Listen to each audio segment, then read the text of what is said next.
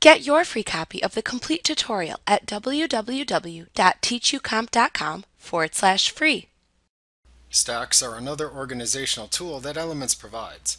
When you assign images to a stack, only the top image is displayed in the organizer window while all the other associated images are kept behind it, like a stack of playing cards. Stacks help organize images that are just different variations of the same photo. To create a stack, first choose your images in the organizer, and then select Edit, Stack, Stack Selected Photos from the menu bar. Your stacked images will now appear in the organizer window with only the top image shown. You will see the stack icon in the upper right corner of the image. To manage a stack, you must first switch to the Details view by selecting View, Details from the menu bar. Here you can see the stack appear, along with an arrow at the right edge of the stack. Clicking this arrow will open and collapse the stack within the organizer window. Alternatively, you can select Edit, Stack from the menu bar and then select either the Expand Photos in Stack or Collapse Photos in Stack commands.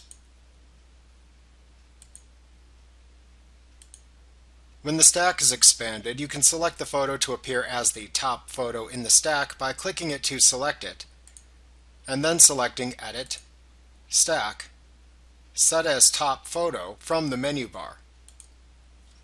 To remove a photo from the stack, select the photo in the expanded stack to remove, and then select Edit, Stack from the menu bar, and then choose either the Remove Photo from Stack or Remove Top Photo command.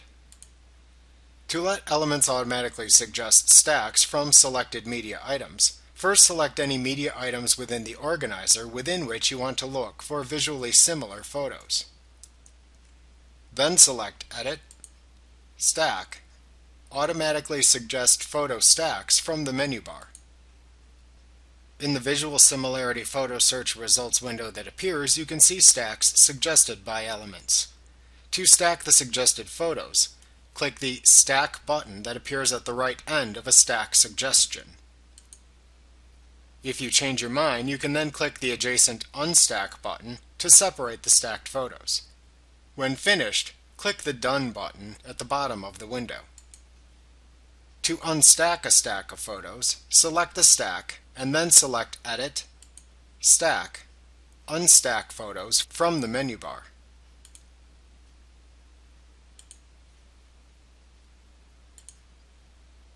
To delete all photos other than the top photo from the catalog and or hard disk, first select the stack and then choose Edit, Stack, Flatten Stack from the menu bar. In the confirmation warning box that appears, then click the OK button to delete all photos except the top photo from the catalog. Checking the Also Delete Photos from the Hard Disk checkbox before clicking the OK button will also delete the photos from your hard drive if desired. Like what you see? Pick up your free copy of the complete tutorial at www.teachucomp.com forward slash free.